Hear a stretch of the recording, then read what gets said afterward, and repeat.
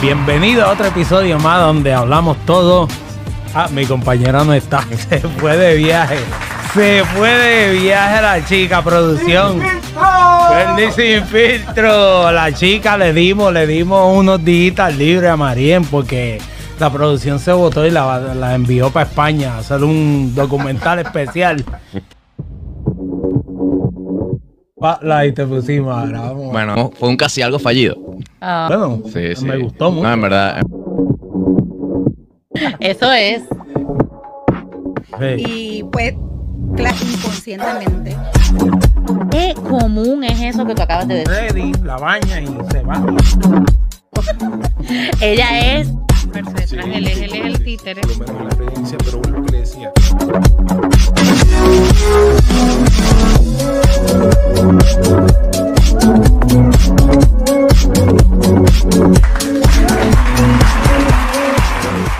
Pero ya ustedes saben, este, estoy aquí soleado hoy, esta noche. Este, vamos a tener una noche especial. Tengo un invitado, traje un invitado hoy conmigo aquí. Pero antes de eso, vamos a hacer unas menciones. Quiero hacer unas menciones. Este, a un, si usted tiene un pedazo de patio a la parte de atrás, un garaje o algo que se ve un poquito feo, usted tiene que llamar a Gen Epoxy Coating. Esta gente eh, pone en tu espacio, cualquier espacio que tenga cemento, lo ponen a lucir bien espectacular. Gen Epoxy Coating. Usted lo llama al 407-405-3669. Usted le da una llamadita al 407-405-3669. Llámalo para que ponga su espacio bonito.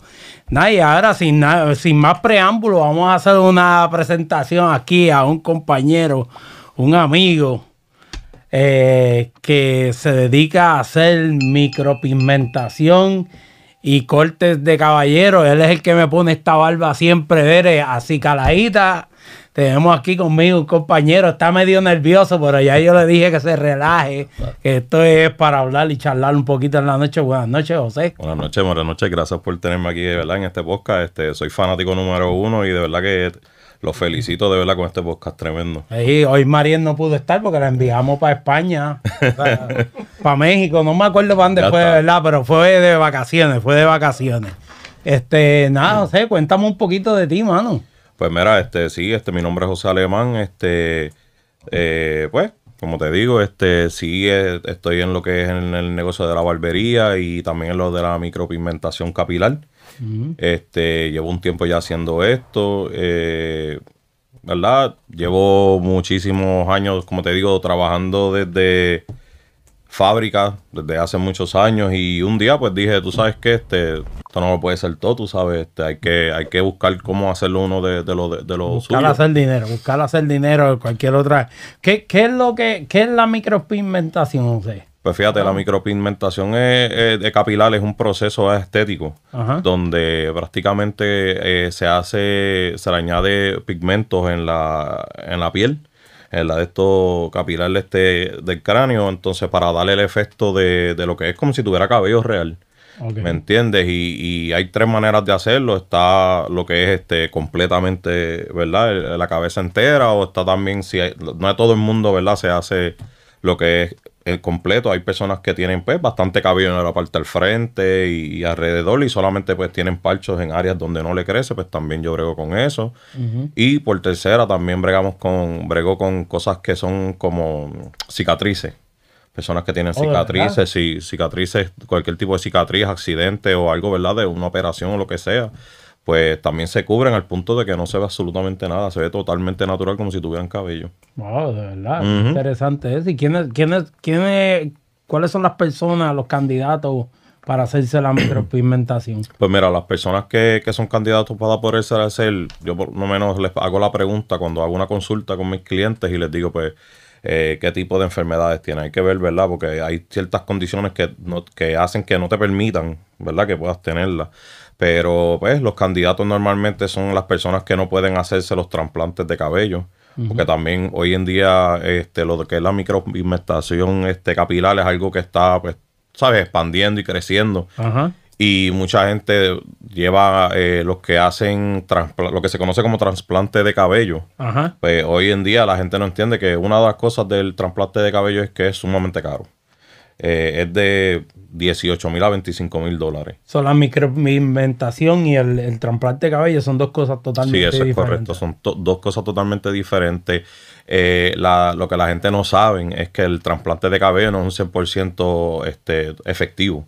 Oh, Hay sí. personas que pagan el dinero y, y no necesariamente significa que le va a crecer ya el cabello así. Y tengo, tengo entendido que es más riesgoso el Sí, trasplante. eso es correcto. Es, es un proceso bastante, ¿sabes?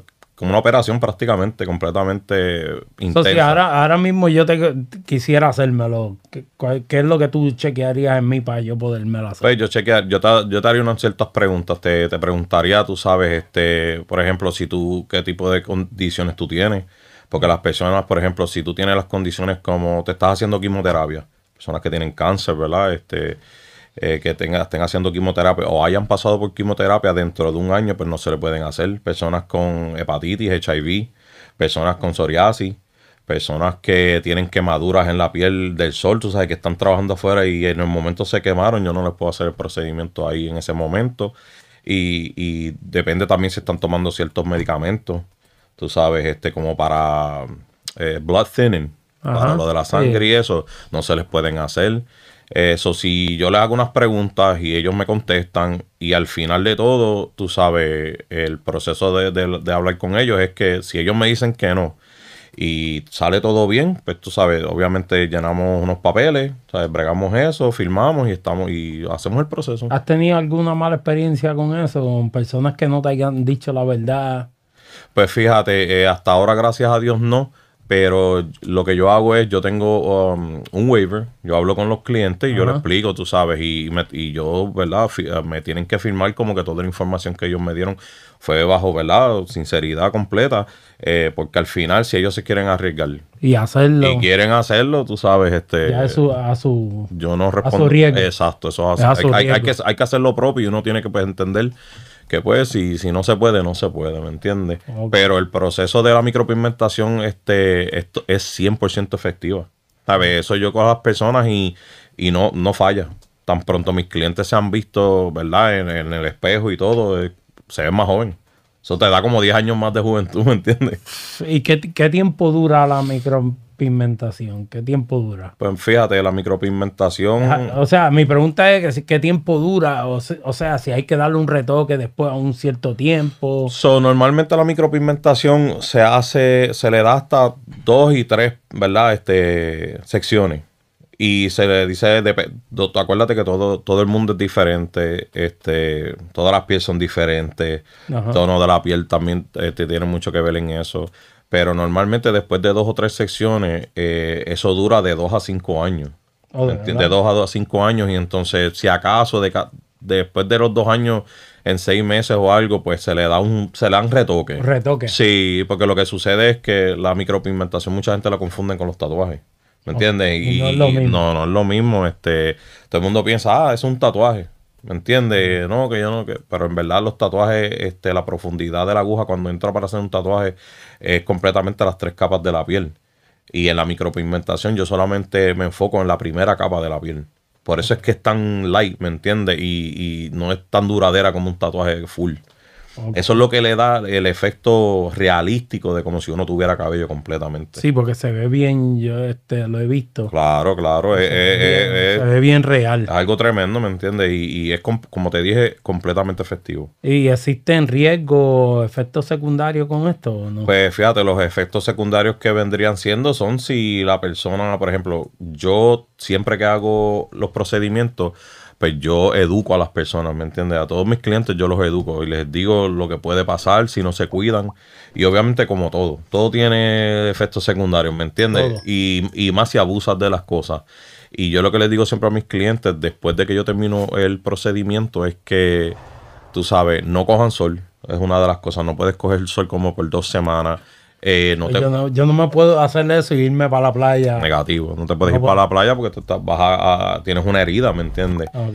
Y, y tampoco puedes estar limpiándote el pelo. Cuando te vas a limpiar el pelo, no puede ser con cualquier champú ni jabón, tú sabes. Tiene que ser algo especial. tiene que ser algo especial. Normalmente yo le digo a mis clientes que pueden comprar este. Tú lo recomiendas. Les recomiendo lo que exacto, para no decir nombre de un producto. no queremos dar. Tú le recomiendas. Tú sí, este, recomiendas. yo les recomiendo unas cosas que ellos pueden usar y para protegerse. Otra es este la, la- el sudor constante, como irse a hacer ejercicio o irse al gimnasio o para provocar el sudor. No, no puedes hacer eso tampoco por por lo menos dos semanas. O sea, porque- el que no quiera hacer ejercicio, que se haga la micropigmentación y, y después empieza.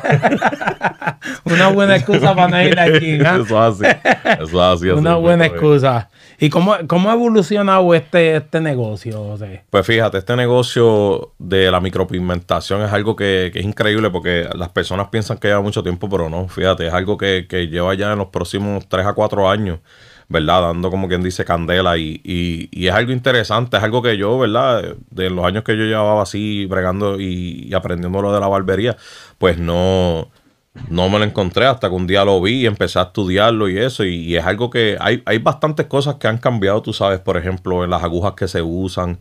eh, y se, se parece como una aguja single uh, needle, pero no, eh, son tres agujas que hacen una. Ajá. Así de, de- eso es algo microscópico, ¿me entiendes? Y, y- y eso es lo único que ha evolucionado, las máquinas que se usan para hacerlo, la tinta que se usa, ¿me entiendes? Son diferentes tintas, no es la misma que se usan los de tatuaje, ¿me entiendes? Son, to- totalmente diferentes. Totalmente diferente. So, la máquina también es totalmente diferente. La son diferentes, aunque se ven es- similares, sí, son completamente diferentes. Eso es así. Y, y todo es para poder darle ese look este, ultra realístico.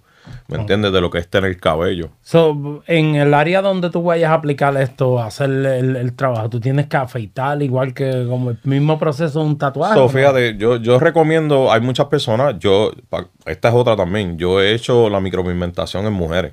Ok. Y obviamente, pues la mujer no se va.